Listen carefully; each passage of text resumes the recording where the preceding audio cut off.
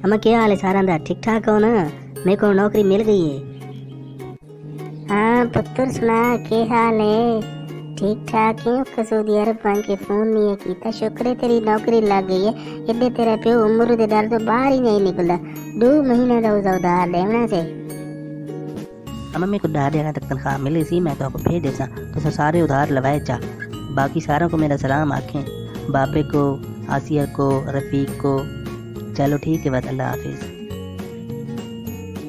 या अल्लाह तेरा शुक्र है शुक्र है शफीक को तो नौकरी मिल गई है। हाँ फ़ोन ते क्या नल गल करे नहीं पई मुबारक को भी शफीक को नौकरी मिल गई है उसे तो फ़ोन आई होना। शुक्र है शुक्र है। चलो उम्र दा उधार तलासी बंदा गली ते भी ऊपर नहीं निकल सकदा उम्र दे दर तो। बाबा मैं रात त्रै बजे उठ के दुआ की थी कि सादा उम्र वाला उधार ला बने सारी उसानी याद होनी अच्छा त्रै बजे उठ के दुआ करो तो दुआ कबूल थी